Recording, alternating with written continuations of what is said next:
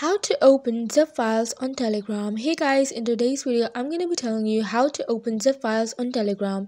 So let's get started. Just open up Telegram on your phone and as you have opened up Telegram on your phone, you will be able to see your chats. Now, to open up zip files, simply go back and open up Play Store.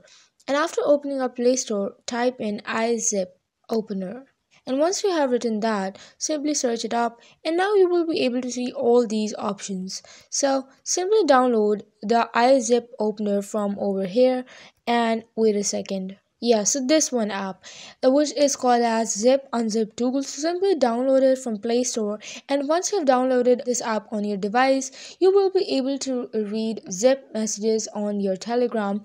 So that is how easily you can open up zip files on your telegram. Let me know in the comment section below. If this video helped you guys. Do not forget to like share and subscribe to my channel